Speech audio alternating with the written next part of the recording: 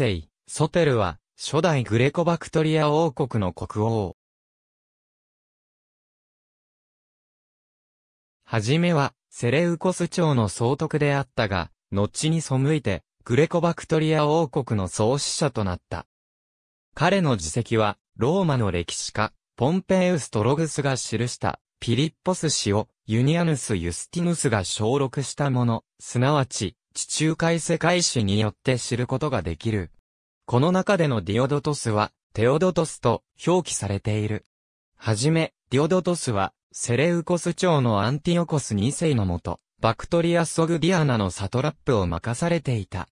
しかし、アンティオコス2世が死去すると、その二人の息子の間で、王位継承争いが起き、各地でセレウコス朝からの離反が始まった。また、古代ローマのストラボンは、ディオドトスの独立後とその後の繁栄の様子を次のように記している。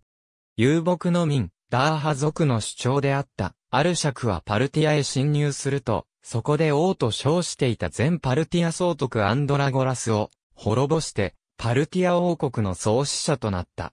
パルティアを乗っ取ったアルサケス一世は、その後間もなく、ヒュルカニア王国も占領し、セレウコスアサ、グレコバクトラ王国と対峙した。